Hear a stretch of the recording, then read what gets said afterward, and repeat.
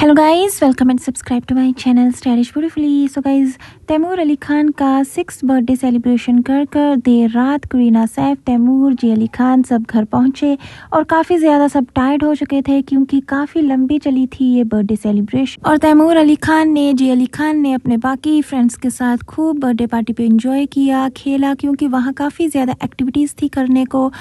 और अभी तो ये सेलिब्रेशन की शुरुआत है. मेन सेलिब्रेशन तो ट्वेंटी ऑफ़ दिसंबर यानी कि जिस दिन तैमूर अली खान सिक्स ईयर का होगा, तब होगी. तब तो और भी बड़ी ग्रैंड सेलिब्रेशन होगी और तब करीना कपूर खान अपने सारे फैमिली मेंबर्स और क्लोज फ्रेंड्स को इनवाइट करेगी. आज भी बहुत सारे फैमिली मेंबर्स आए और उन्होंने ही अपने अपने सोशल मीडिया पर तैमूर अली खान की सिक्स प्री बर्थडे पार्टी की सारी पिक्चर्स और वीडियोस पोस्ट की हैं और जो हर तरफ़ वायरल हो रही हैं और जिससे पता लगता है कि तैमूर अली खान ने खूब इन्जॉय किया है, मज़ा किया है। और अभी तैमूर अली खान के बर्थडे की सारी प्रेपरेशन जो ग्रैंड सेलिब्रेशन की होगी ट्वेंटी ऑफ़ दिसंबर को वो चल रही है। उसकी भी सारी अपडेट हम आपको देते रहेंगे।